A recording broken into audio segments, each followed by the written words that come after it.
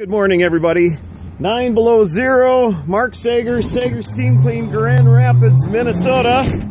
We're gonna take and get this hose, this hose in my hand, to that second story there. Which you know, today, everything we've got is like long hose runs and second story, deep snow. Well, not super deep if you're out New York area.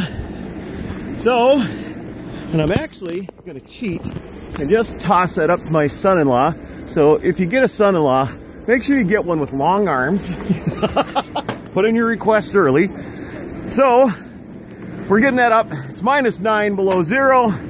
Aaron Jewett up there taking care of that. All kinds of snow, hose. So if you need to get a water line up, there are other ways are on my YouTube. That's one of the things we got going. And of course, we couldn't get close enough parking it's only about 150 feet we're running. But she's cold. It's nine below zero. So I'm going to tidy up this hose right here so nobody rides over it. And I'm heading for that warmer door we've got open down there. Stay warm.